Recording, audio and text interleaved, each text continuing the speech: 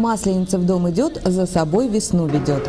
Помимо выпечки блинов, димитровградцы на этой неделе смогут и развлечься, и знаниями обогатиться. Так в библиотеках расскажут об истории праздника, о приметах и традициях Масленицы.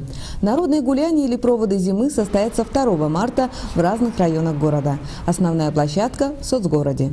И у Центра культуры досуга «Восход» уже, понятно, по традиции большая площадка, праздничное гуляние. Сразу хочу обратить внимание, что Практически на всех площадках будут работать игровые детские программы, где ребятки смогут повеселиться, от души порадоваться. Не обойдется праздник без традиционных блинов и сжигания чучела, но будут и сюрпризы.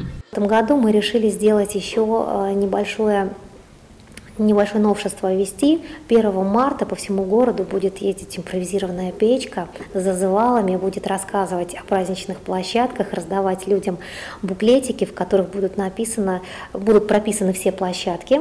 Начало праздника на КСК и площади Советов в 11 часов, а у восхода в полдень. Татьяна Елисеева, Виталий Немов. Новости Димитровграда.